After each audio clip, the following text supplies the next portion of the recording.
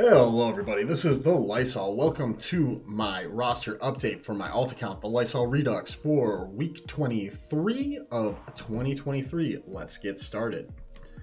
So for this project, I put together this spreadsheet here uh, to track my progress.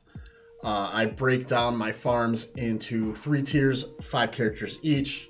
Within each tier, I try and get one character per week up to uh, their goal and another character up to G11 or G12, depending on how my resources are looking. Uh, last week, I was unable to get anybody up to G13, uh, but I was able to get a character from low relics to higher relics in order to get the goal. As you can see, I'm working on Jabba. Uh, I've got JKL, Chrysanthemum, Boushh finished.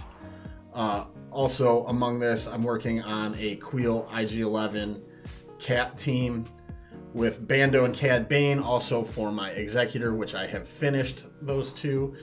So let's take a look at the gearing. Here we go. So I had a bunch of characters that I could promote. Uh, I got Canderous up to seven stars because I'm kind of half-ass lightweight working on Darth Revan in the background.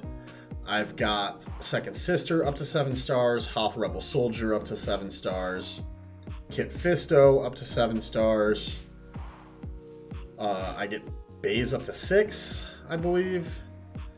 And then I think Chirrup, Chirrut up to six as well. Oh, Chirrut's up to five.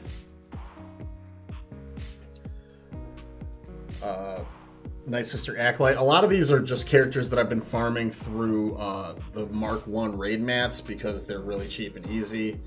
I get Rose up, a star level. And then I start looking around here. So I look at Scando, can't do it. So we move on. I look at Aura, what's missing here? These injector cell salvage which I never considered to be a crunch, but apparently I don't have enough of. Uh, I, there's no real way to farm them either, unless you want to skip out on Kyros, which is damn near impossible to do. I am able to take uh, Fennec up to G12. Uh, I take Jawa up to G12. Then I believe I go to... Oh, Gamo Guard I can't do. I can take Mob Enforcer up to 10.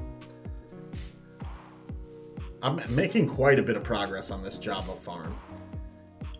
Uh, then I believe I go to uh, Boushh. Yeah. I take Boushh up to Relic 5 here. And uh, yeah, we can skip through all that. So,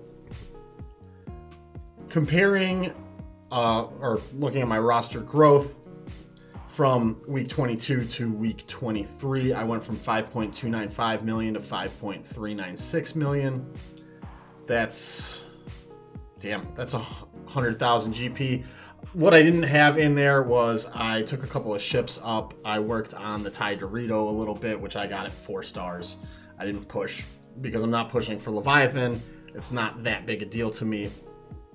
Uh, I'm still at 96 Zetas, 10 Omicrons, 48 G13s. Now I have 14 G12s, and I have 18 G11s.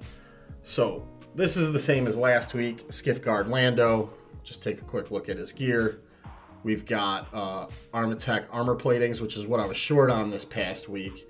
And they're on regular energy, so I don't farm those. I only farm shards and kyros with my regular energy. I'm not messing around with that stuff. And we got some med packs. We got some carbantes. I'm honestly I'm ready to to relic him now, but uh, just for my own edification, we have this here.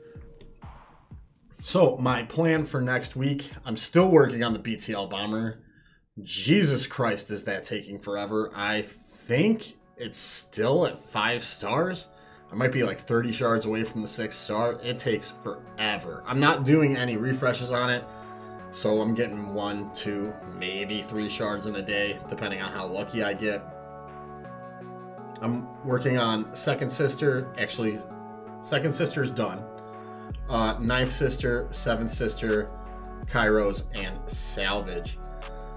Uh, I'm hoping to get uh, in Grand Inquisitor after I get Jabba so I can help my guild get more Reva's shards, you know. Try and be a guild, good guildie.